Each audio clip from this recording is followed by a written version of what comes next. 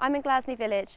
This is the most popular choice usually for students to pick when they decide to come here in their first years of university.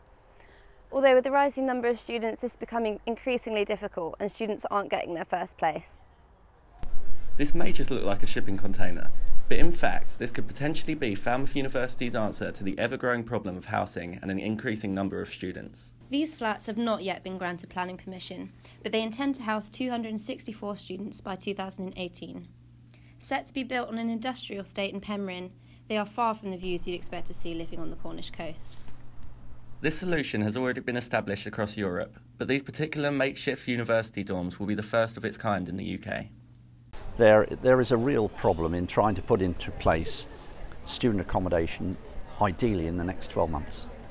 There are afoot, there are other plans associated with the university to put in probably another thousand student accommodation just below the campus here. But that's going to take another two to three years before they're built. This is almost a bit of a stopgap, but I think it. I think people will will enjoy living in them. Everybody does offshore, so why won't they live enjoy them here? The flats will be £99 a week and will feature a bed, desk, and ensuite, and will also have a communal area livable for eight students.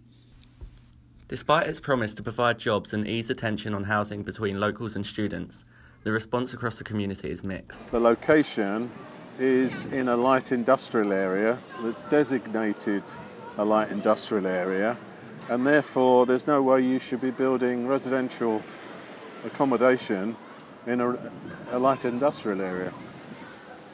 Uh, where, where, do the, where, where do the companies go uh, surrounding that? Because as soon as you change it from uh, light industrial to residential, one would assume that the land value will increase considerably, and that's going to push out all the other light industrial companies. Falmouth needs light industry as well as the university and accommodation for the students. The whole way in which it's been put together looks as though somebody's put a bit of thought into it.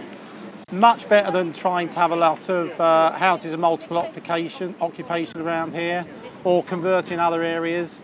Uh, students will love it as well, particularly if it's closer to campus and facilities that really students need rather than perhaps residents.